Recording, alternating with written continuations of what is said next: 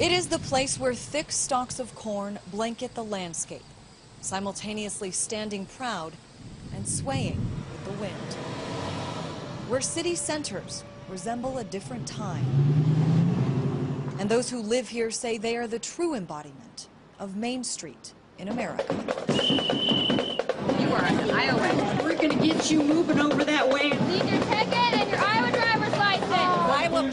are generally very welcoming and open, I think. Yeah. They're very practical people. It turns out that they are also very powerful people. We get a first-hand look at all the candidates. They come to our cities, they come to our area. We get to sit down, town meetings with them, ask them questions, find out what their real real core values are, which is very, very important to Iowa. The Iowa caucuses is among the first stops in the presidential primary. But for Republicans, the initial hurdle is always the Iowa straw poll. Well, you could say it's popularity contest meets county fair.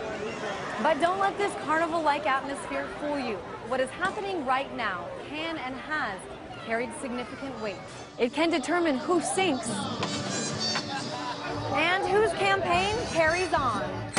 It's a prime example of small-town politics with big-time consequences. If you're ready to vote, line up here! I've lived here for two years and I see a lot, I've felt, never felt more energy and interest in politics than living here actually. There you go. Take two. You can give one to a friend. I will. Okay?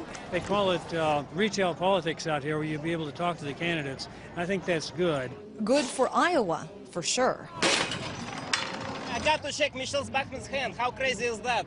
But out of 50 states, Iowa's population ranks 30th at a mere 3 million people. If you have not registered to vote, please do so now. More than 91% of those who do live here are white. Homegrown Iowa sweet corn right here. And its economy is primarily agricultural.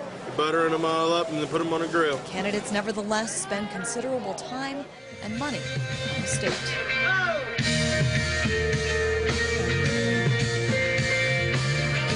Of proving to the party and the country that they are organized and should be taken seriously. On behalf of over 600,000 Iowa Republicans, As for this year, the winner of the 2011 Iowa Straw Poll is Congresswoman Michele Bachmann.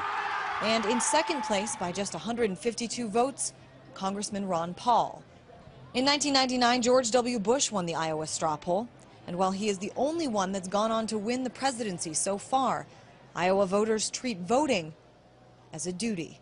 The people of Iowa are pretty good at seeing through what's sometimes a little glitter and a little bit shiny, and they find the substance and the basics that are basically here in the candidates. Being from the Midwest, a lot of times people associate us with what's the, really the best about America, and I think that uh, when we vote, people take it seriously. But for those on the outside, it can also be a perplexing reality that in a land where corn is king, its people are in some ways viewed as kingmakers. In Ames, Iowa, Christine Frazao, RT.